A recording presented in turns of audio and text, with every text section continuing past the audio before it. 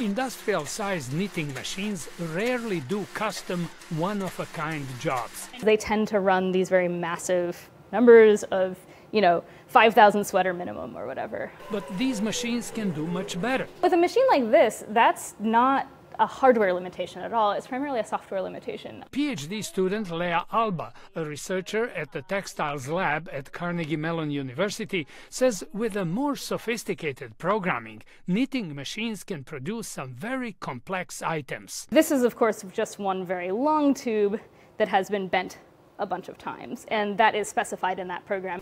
Using elastic stuffing and built-in strings called tendons, it's even possible to knit elements for soft robots. This is a gripper.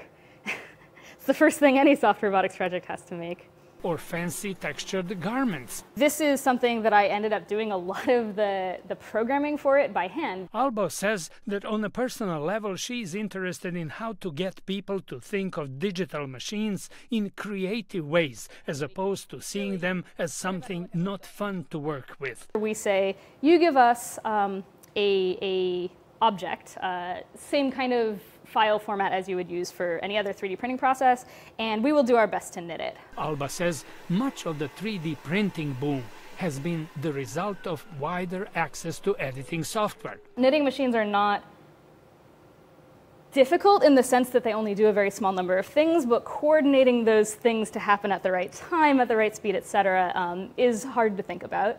3D knitting of perfectly fitting items could one day see extensive applications, from garments to soft robots to spacesuits. George Putic, VOA News, Pittsburgh.